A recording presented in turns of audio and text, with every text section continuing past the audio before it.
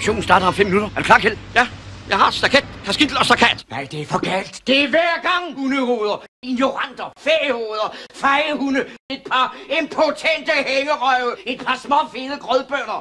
Det siger jeg da, Egon. At meget har vi fundet os i fra din side. Og Dog stille, sindssyge kvindemenneske. hører du det, Kjeld? Finder du dig i det? Ja, det vil jeg også sige, Egon. Ivana skal ikke sindssyg. Gud fader bevares. Nej, nu kan det være nok. Jeg ved ikke mere. Der er jo ingen grund til at hakke på os på den måde. Ivana, hvor kunne du? Jeg gjorde det, fordi det plejer altid at være nu, at det går galt. Må I være fri? Hvad bilder I jer ind? Sådan et par klamhugger og lusede amatører. Hvad skal jeg sige til Ivana? Sådan et par hundehoveder. Du er bare... Du er bare en skidesprætter og narhat. Meget har vi fundet fra i din side. Nej, omvendt.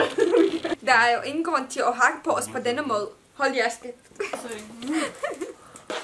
Jeg gjorde det, fordi det plejer altid at være galt, og det gør nu. Og det gør du. Ja, Et par små fyld grundfiler. Et par små fyld grundfiler. Et par små fyld grundfiler.